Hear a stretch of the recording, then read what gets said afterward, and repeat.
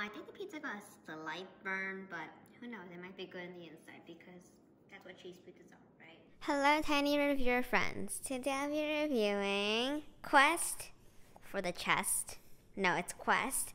Thin crust pizza, four cheese, mozzarella provolone, fontina, and romano cheese on a flourless crust. Two, 27 grams of protein per serving, uh, 6 net carbs per serving.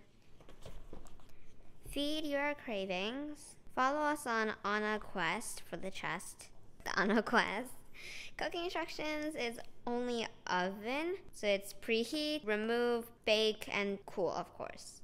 Nutrition facts and ingredients it contains milk, may contain wheat, do not allow pizza to thaw, do not eat pizza without cooking, that would be horrible. Who would even want to eat pizza raw with nothing, with not even cooked pizza?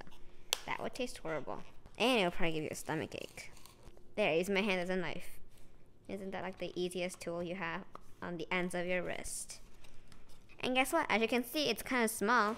So is the pizza. The pizza is kind of there. That's middleized, centered. Well, let's move this out of the plastic wrapper. Um, put in the oven and then we'll see what happens if we cook it. My dad pizza for 22 minutes like the package told him to. The package cannot talk, but how did he tell him that? But okay. Uh, I think the pizza got a slight burn, but who knows? It might be good on the inside because that's what cheese pizzas are, right?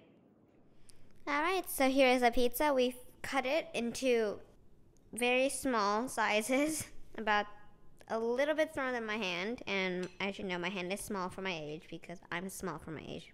Let's try it. The tomato sauce is not bad. Not so sure about the cheese though.